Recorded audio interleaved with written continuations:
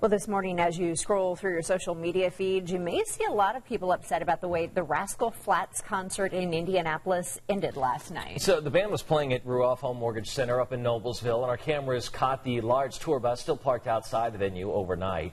On Twitter, we found a lot of people upset, saying the band didn't perform an encore. There are a lot of theories as to why that happened. Oh, some people are citing security issues. Others are simply upset there was no encore, and several popular songs, they say, also were not played.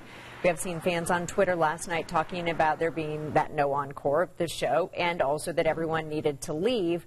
We've reached out to the Hamilton County Sheriff's Department. We've been told any information about this will have to come from Live Nation. We are still waiting on a response from them. Once we have that, we'll bring it to you here on Sunrise and at WTHR.com.